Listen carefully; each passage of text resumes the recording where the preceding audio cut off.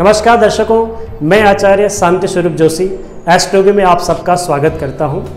इस वीडियो में आज हम बात करने वाले हैं जुलाई मंथ 2018 का मासिक फल। दर्शकों, जुलाई माह का आरंभ मीन लग्न और मकर राशि में हो रहा है। इस राशि के लग्न के स्वामी, इस मास के लग्न के स्वामी जो है, बृहस्पति हैं, जो कि लग्न से अष्टम घर में विचरण करेंगे और वक्र हैं।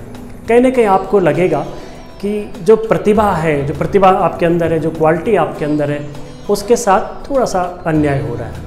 ये रहेगा, क्योंकि बृहस्पति वक्र है आपकी कुंडलिका में। बट कोई नहीं, आप कर्म करेंगे तो निश्चित है कि उसमें आपको आने वाले समय में इसका लाभ ज़रूर देखने को मिलेगा। दूसरा इनफैक्ट अगर मैं देखता हूँ कि जो महालग्न कुंडली, हमारी जो मासिक कुंडली का जो बनी है उसके जो लगन से जो लाभ घर में चंद्रमा बैठे हुए हैं बट वो अकेले नहीं है। वहाँ पर मंगल और केतु भी युति बनाए हुए, उनके साथ बैठे हुए हैं। तो मतलब जो आप अथा प्रयास कर रहे थे, जो अधिक मेहनत कर रहे थे, वहाँ से जो है, मुझे लगता है कि लाभ की जो मात्रा है, वो कम ही रहेगी, जैसे आप अभी देखने को आपको मिल रहा था, क्योंकि अधिक लाभ नहीं मिल पाता है। तो निश्चित है कि आप यहाँ पर कर्म करते रहिए।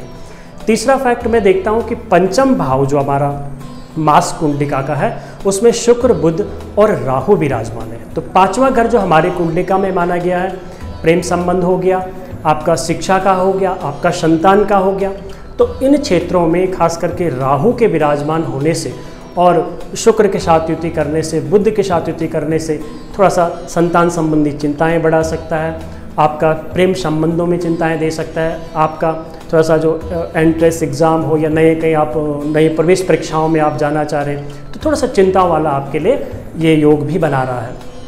दूसरा, सुख भाव में जो है सूर्य गोचर कर रहा है। ये सबसे अच्छी बात है कि सूर्य ग्रहों का राजा है और निश्चित अगर वो सुख भाव में गोचर कर तो पूरी कोशिश करेगा वो कि अधिक से अधिक आपको परेशानी कम हो और अधिक से अधिक सुख आपको मिले मतलब बेनिफिट और आत्मसंतुष्टि आपको रहे।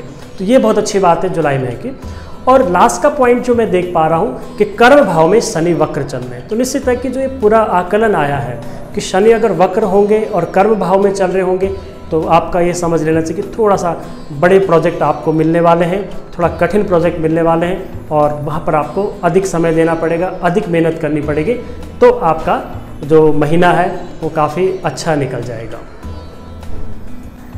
रही बात राशिफल की तो उस पर बात करेंगे ही, लेकिन इससे पहले एक नज़र डालते हैं जुलाई माह में होने वाले ज्योतिषी घटनाक्रमों, यानी ग्रहों के चाल में होने वाले बदलाव के बारे में।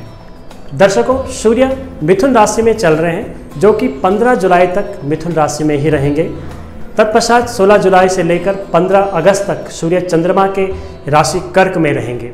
हालाँकि कर्क राशि में राहु भी विराजमान है, जिस कारण ग्रहण दोष भी बनेगा।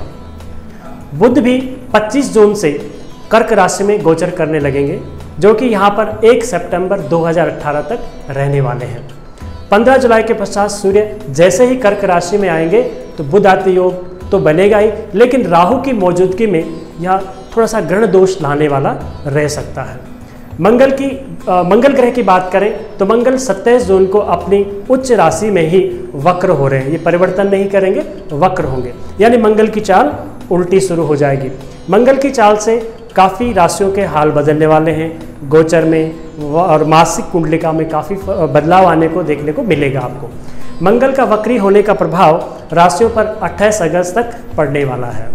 मंगल का वक्र होने से आपकी राशि में क्या प्रभाव आने वाला है, किस प्रकार का प्रभाव बढ़ने वाला है तो आप जो है हमारे वीडियो के साथ डिस्क्रिप्शन पे दिए गए लिंक को क्लिक करें तो निश्चित आप जानकारी ले पाएँगे।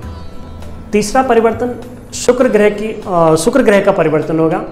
जो कि 5 जुलाई को सिंह राशि में गोचर करेंगे और यहाँ वह इकतीस जुलाई तक गोचर करता रहेगा। निश्चित है कि उसका भी फल हमारी राशियों में अलग अलग रहेगा, वो भी आप जानकारी ज़रूर ले पाएँगे। और चौथा परिवर्तन, गुरु ग्रह यानी कि बृहस्पति तुला राशि में वक्र होकर गोचर कर रहे हैं। लेकिन अच्छी बात यह कि 10 जुलाई को बृहस्पति की चाल पुनः बदल जाएगी और वह सीधे यानी मार्गी हो जाएँगे। शनि ग्रह की बात करें तो शनि जो है धनु राशि में वक्र रहेंगे और ये निरंतर 6 सितंबर तक इसी राशि में वक्र बने रहेंगे। इस वीडियो में आपको इतनी जानकारी दे पाएँगे।